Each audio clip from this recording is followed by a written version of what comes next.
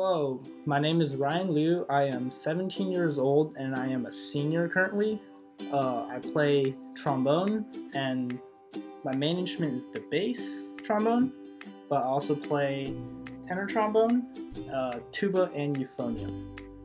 I've played trombone for three years and I started in 10th grade. So, how I started on trombone, it was in 10th grade, I was playing saxophone and I wanted to get into top band as everyone does. So, I looked around and I thought to myself, Homestead doesn't have that many trombone players. Maybe if I learned trombone, I could probably get into the top band that way. I picked up the trombone, and three years later, here I am, and I'm enjoying it a lot. So, what are the parts to a trombone? If you take this trombone, for instance, it's very simple. You have a mouthpiece that comes off, and you have a bell section and a slide section. So this is the very basic trombone that you see every day and what you probably think of when you hear trombone. This is also a tenor trombone, but as you can see, it has an extra loop on the back. So what this does is when you activate the valve, it pushes the air through this extra loop.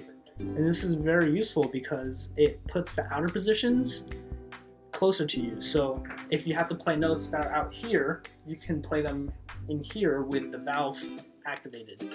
This is a bass trombone. These trombones all have the same length and can play the same notes, but the difference between a bass and a tenor is that the bass trombone tubing is a lot bigger and also has two valves and a bigger mouthpiece, which enables it to play lower easier. The trombone is a brass instrument, so that means in order to create a sound, you must create a buzz. A buzz is the vibration of the lips. So, say you want to play an F. You need to make sure your lips are vibrating an F so you can create that pitch, which then goes into the instrument. So, you start out. And then you take your mouthpiece and you buzz into it, and it sounds like this. Oh. And this mouthpiece helps focus your buzz so it can go into the instrument and then the instrument can make the buzz sound very nice. I will be giving a sound demonstration of these three instruments. Thanks for watching.